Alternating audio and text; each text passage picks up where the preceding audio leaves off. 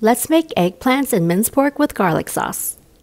Wash the eggplants, cut off the ends, then cut into bite sized pieces. Place them into a bowl, add salt, water, and a weight.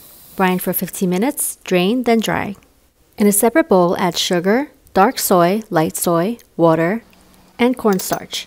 Mix until well blended, then set aside. Heat some oil on a pan, add your eggplants and cook until softened, then transfer to a plate.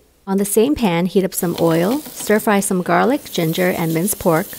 Add Shaoxing wine and stir until pork is no longer pink. Return the cooked eggplants to pan, give the sauce a quick stir, pour into pan and mix until thickened. Garnish the dish with chopped scallions and enjoy with your rice of choice. How easy was that?